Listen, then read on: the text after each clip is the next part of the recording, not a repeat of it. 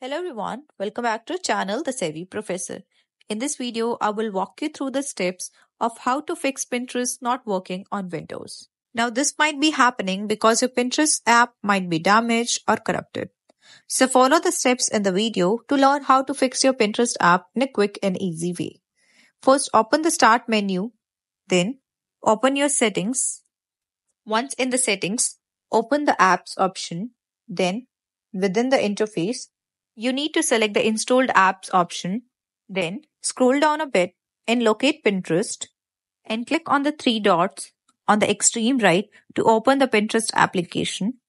From the pop-up, click on advanced option and then within this page, scroll down to the bottom and look for the reset section.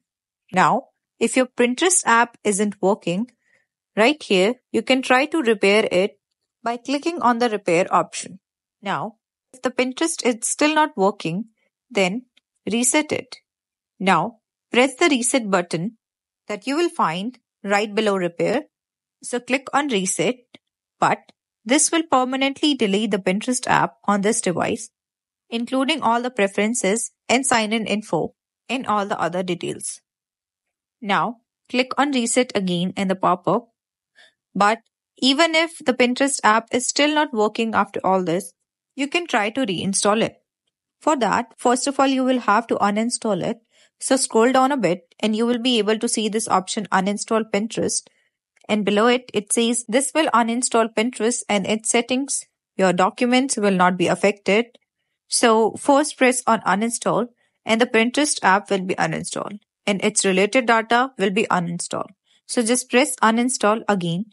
Now open your Microsoft Store to download the Pinterest app Again, search for Pinterest, then click on Pinterest and press the get button to start downloading the Pinterest application. Wait for Pinterest to be downloaded and installed. Now open your Pinterest app and select sign in. Now type in your Pinterest login info and you're good to go. So that's it for this video. I hope this video helped you out.